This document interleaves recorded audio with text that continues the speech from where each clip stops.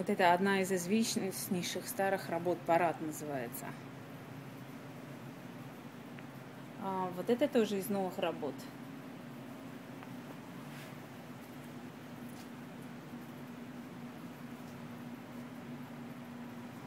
У Ани всегда очень много маленьких-маленьких деталей, которые очень интересно разглядывать на картинах.